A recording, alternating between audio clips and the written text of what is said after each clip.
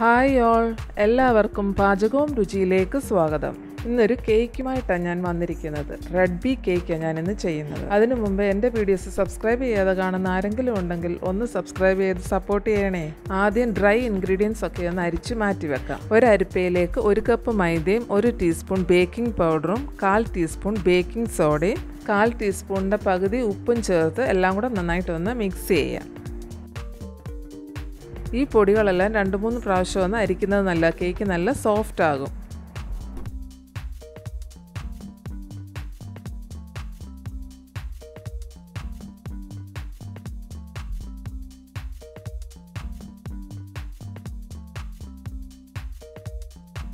പൊടികൾ രണ്ട് മൂന്ന് പ്രാവശ്യം അരിച്ച് അത് മാറ്റി വെക്കാം.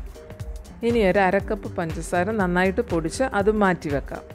ഇനി ഒരു ബൗളിലേക്ക് മൂന്ന് മുട്ട പൊട്ടിച്ചൊഴിക്കുക. അതിലേക്ക് ഒരു ടീസ്പൂൺ വാനില എസൻസ് ഇട്ട് നന്നായിട്ടൊന്ന് ബീറ്റ് ചെയ്യാം ബീറ്റർ ഇല്ലാത്തവർ വിസ്ക് വെച്ച് വേണേലും ഇത് ബീറ്റ് ചെയ്യാം. സമയം കുറച്ച് കൂടുതലെടുക്കുമെന്നേ ഉള്ളൂ. നന്നായിട്ടത് ബീറ്റ് ചെയ്യണം. അപ്പം മുട്ടയുടെ ആ സ്മെല്ലൊക്കെ ഒന്ന് മാറിക്കിട്ടും.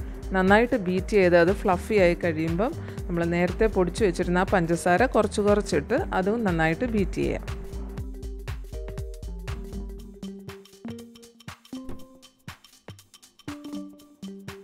അതെല്ലാം നന്നായിട്ടൊന്ന് ബീറ്റായി അതിന്റെ കളറൊക്കെ ഒന്ന് മാറി തുടങ്ങുമ്പം ഒരര കപ്പ് ഓയിലും കൂടെ ഒഴിച്ച് ഒന്നുകൂടെ ഒന്ന് ബീറ്റ് ചെയ്യാം. ഓയിൽ ഒഴിച്ചു കഴിഞ്ഞാൽ പിന്നെ അധികം ബീറ്റ് ചെയ്യേണ്ട എല്ലാം നന്നായിട്ടൊന്ന് മിക്സ് ആയാൽ മതി. ഇനി അതിലേക്ക് നമ്മൾ നേരത്തെ ഇടഞ്ഞു വെച്ചിരുന്ന ആ പൊടികൾ കുറച്ച് കുറച്ചിട്ട് എല്ലാം കൂടെ ഒന്ന് ഫോൾഡ് ചെയ്തെടുക്കാം. ഞാനിത് സ്പീഡിൽ കാണിക്കുന്നതേ ഉള്ളൂ. സ്പീഡിൽ ചെയ്യരുത്. അത് പെതുക്കെ അത് ഫോൾഡ് ചെയ്യണം. വല്ലാതെ അത് ഇളക്കി കഴിഞ്ഞാൽ കേക്ക് അങ്ങ് കട്ടിയായി പോകും പൊടികളെല്ലാം നന്നായിട്ടൊന്ന് മിക്സ് ആയി കഴിയുമ്പോൾ ഈ ബാറ്റർ മൂന്ന് ബൗളിൽ ഒരുപോലെ ഒഴിക്കുക. റെഡ് ബി കേക്ക് എന്ന് പറയുമ്പോൾ മൂന്ന് കളറിലാണ് വരുന്നത്. അതുകൊണ്ട് നമ്മൾ മൂന്ന് കേക്കായിട്ട് ഉണ്ടാക്കുന്നത്. ഇനി ഓരോ കേക്കായിട്ട് ഉണ്ടാക്കാം. ആദ്യത്തെ ബാറ്ററിലേക്ക് ഒരു ടേബിൾ സ്പൂൺ ചെറിയ ചൂട് പാലൊഴിച്ച് നന്നായിട്ടൊന്ന് മിക്സ് ചെയ്യുക. സ്പീഡിൽ മിക്സ് ചെയ്യരുത്. ചെറുതായിട്ടൊന്ന് ഫോൾഡ് ചെയ്തെടുക്കുകയേ ആകാവൂ. ബേക്ക് ചെയ്യുന്നതിന്റെ തൊട്ട് മുമ്പ് ഒരു കാൽ ടീസ്പൂൺ വിനാഗിരിയും കൂടെ ഒഴിച്ച് മിക്സ് ചെയ്തിട്ട് വേണം ഇത് ബേക്ക് ചെയ്യാൻ. ഇത് നേരത്തെ ഗ്രീസ് ചെയ്ത് വെച്ച ബേക്കിംഗ് പാനിലേക്ക് ഒഴിച്ച് എയർ ബബിൾസ് ഒക്കെ ഒന്ന് പോകാൻ വേണ്ടി ഒന്ന് ടാപ്പ് ചെയ്ത് കൊടുക്കാം. കേക്ക് ഉണ്ടാക്കാൻ തുടങ്ങുന്നതിന് ഒരു പത്ത് മിനിറ്റ് മുമ്പേ നമ്മൾ ഓവനിലാണ് ചെയ്യുന്നതെങ്കിൽ അത് പത്ത് മിനിറ്റ് മുമ്പേ പ്രീഹീറ്റ് ചെയ്യുക. പാനിലോ പ്രഷർ കുക്കറിലോ ആണെങ്കിൽ അതും ഒരു പത്ത് മിനിറ്റ് മുമ്പേ ചൂടാവാൻ വെക്കണം. ഞാൻ പാനിലാണ് ചെയ്തത്.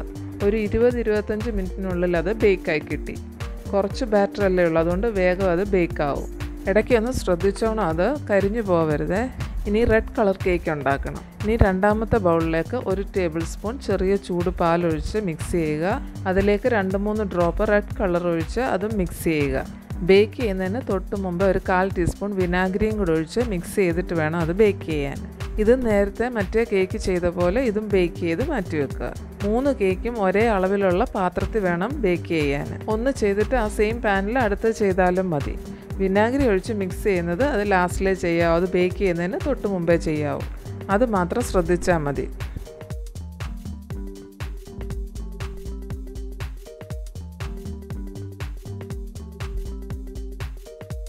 ഇനി അടുത്ത് ചോക്ലേറ്റ് കേക്ക് ഉണ്ടാക്കണം.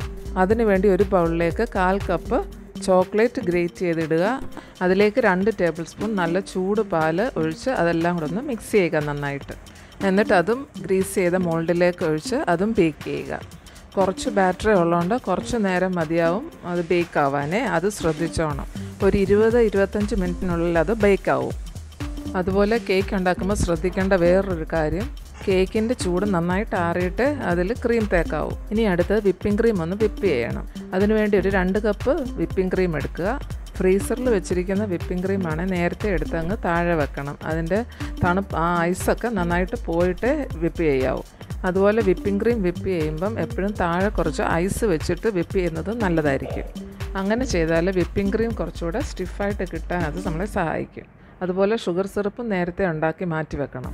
അതിനുവേണ്ടി അരക്കപ്പ് പഞ്ചസാര എടുത്താൽ ഒരു കപ്പ് വെള്ളം ഒഴിച്ച് നന്നായിട്ട് തിളപ്പിക്കുക. ഒരു രണ്ട് മിനിറ്റ് ചെറിയ തീയിലിട്ടൊന്ന് തിളപ്പിച്ചിട്ട് അങ്ങ് ഓഫ് ചെയ്തിടുക. ഒരു നുള്ളു ഉപ്പും കൂടി ഇടുന്നത് നല്ലതാണ് കേക്കിന് കുറച്ചുകൂടെ ഒരു ടേസ്റ്റ് ഉണ്ടാവും. ഇനി ക്രീം ചീസ് ഒന്ന് ബീറ്റ് ചെയ്യണം. അതിനുവേണ്ടി ഇരുന്നൂറ് ഗ്രാം ക്രീം ചീസാണ് നമ്മൾ എടുക്കുന്നത്. അത് നന്നായിട്ടൊന്ന് ബീറ്റ് ചെയ്ത് വെക്കണം. ഉണ്ടാക്കുന്നതിന് കുറച്ച് മുമ്പേ എടുത്ത് അത് ഫ്രിഡ്ജിൽ നിന്ന് എടുത്ത് വെളിയിൽ വെക്കണം. റൂം ടെമ്പറേച്ചറിലുള്ള ക്രീം ചീസ് വേണം അടിക്കാൻ. ക്രീം ചീസ് നന്നായിട്ട് അടിച്ചിട്ട് നേരത്തെ വിപ്പ് വിപ്പ് ചെയ്ത ആ വിപ്പിംഗ് ക്രീം ഇതിനകത്തോട്ടിട്ട് എല്ലാം കൂടെ നന്നായിട്ട് ഒന്നുകൂടെ ഒന്ന് മിക്സ് ചെയ്യുക. പിന്നെ അധികം ബീറ്റ് ചെയ്യേണ്ട എല്ലാം നല്ലതായിട്ടൊന്ന് മിക്സ് ആയാൽ മതി. ഇനി അടുത്ത സ്റ്റെപ്പ് എന്ന് പറയുന്നത് കേക്ക് ഒന്ന് അസംബിൾ ചെയ്യണം. അതിന് വേണ്ടി ഒരു കേക്ക് ബോർഡിലേക്ക് ആദ്യം കുറച്ച് ക്രീം ഒന്ന് തേച്ച് കൊടുക്കണം. കേക്ക് ബോർഡിൽ നിന്ന് തെന്നി പോകാതിരിക്കാൻ വേണ്ടി അടിയിൽ കുറച്ച് ക്രീം ആദ്യം തേച്ച് കൊടുക്കുന്നത്. എന്നിട്ട് ആദ്യത്തെ ലെയറായിട്ട് ചോക്ലേറ്റ് കേക്ക് വെച്ച് കൊടുക്കാം അതിൽ എന്നിട്ട് തണുത്ത ഷുഗർ സിറപ്പ് ഒഴിച്ചു കൊടുക്കുക. ഷുഗർ സിറപ്പ് കേക്കിലെല്ലാം നല്ലതായിട്ട് പെരണ്ടിരിക്കണം എന്നാലേ കേക്ക് നല്ല സോഫ്റ്റ് ആകത്തുള്ളൂ. അതിന്റെ മുകളിൽ കുറച്ച് വിപ്പിംഗ് ക്രീം തേച്ച് കൊടുക്കാം. പൈപ്പിംഗ് ബാഗിൽ ഇട്ടിട്ട് തേച്ചാൽ നമുക്ക് കുറച്ചുകൂടെ എളുപ്പമായിരിക്കും. ആദ്യം ചോക്ലേറ്റ് കേക്ക് അല്ലേ വെച്ച് കൊടുത്ത് അതുകൊണ്ട് അതിന്റെ മുകളിൽ കുറച്ച് ചോക്ലേറ്റ് ഗ്രേറ്റ് ചെയ്തിട്ടാൽ നല്ലതായിരിക്കും. അങ്ങനെ വേണമെന്നില്ല. അങ്ങനെ ഇട്ട് കൊടുത്താൽ കുറച്ചുകൂടെ ഒരു ടേസ്റ്റ് ഉണ്ടാവും. അതുപോലെ വേറൊരു കാര്യം പറയാൻ മറന്നുപോയി. ഞാൻ ഉപയോഗിക്കുന്നത് മധുരമുള്ള വിപ്പിംഗ് ക്രീമാണ് മധുരം ഇല്ലാത്ത വിപ്പിംഗ് കറിയുമാണ് കുറച്ച് പൊടിച്ച പഞ്ചസാരയും കൂടി ഇട്ടിട്ട് വേണം വിപ്പ് ചെയ്യാനേ.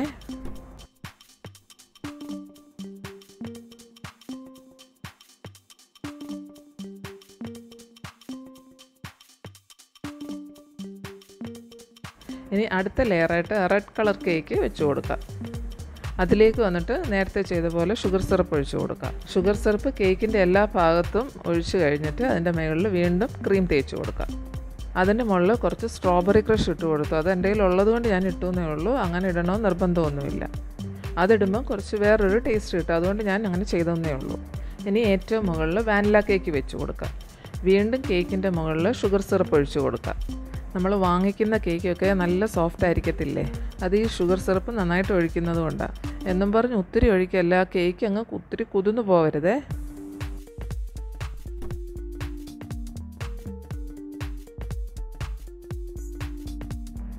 ഇനി ഏറ്റവും മുകളിലും സൈഡിലും എല്ലാം ക്രീം തേച്ച് കൊടുക്കാം.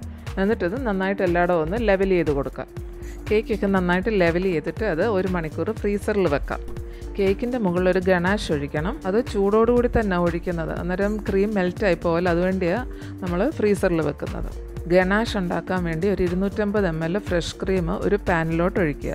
ക്രീം നന്നായിട്ടൊന്ന് ചൂടാകുമ്പോൾ ഇരുന്നൂറ്റമ്പത് ഗ്രാം വൈറ്റ് ചോക്ലേറ്റ് അതിനകത്ത് ഗ്രേറ്റ് ചെയ്ത് അതിലിട്ടിട്ട് എല്ലാം കൂടെ നന്നായിട്ടൊന്ന് മിക്സ് ചെയ്യുക.